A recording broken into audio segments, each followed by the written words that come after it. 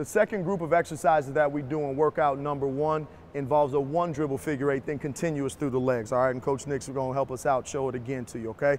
Again, what's important? Your stance. All right, you've got to get used to strengthening up these muscles. Your core muscles are very important to be effective in the game of basketball, okay? Let's see Coach Nick do it, okay? We're going one dribble and we're going through the legs, all right? Now notice he's staying low, but that ball is dribbling outside his foot all right? Outside his foot. Now, Coach Nick, I want you to dribble the ball inside your foot and show him what we shouldn't do. All right, pound, push it, pound, push it, pound, push it. That's not what we want. What that ends up doing, okay, is making the basketball go backwards, all right, because dribbling the ball is angles. All right, so you don't want the ball to go through your legs and backwards. We want it to come out on the side so we can still push forward out the move, okay? He was using his shoulder, staying in that stance, feet nailed to the ground. That was perfect. What we get into next is a continuous through the legs. It looks like this, all right?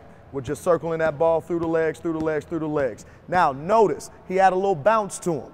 All right, we teach our players all the time that handling the basketball involves some rhythm. Okay, you can't be stiff. You're going to have to use your shoulders because that's how we fake. Think about a wide receiver in football. They don't just fake with their feet, they use their shoulders. Same principles in basketball, okay? That's how you have to do the one dribble through the legs and the continuous through the legs for exercise number two and workout number one.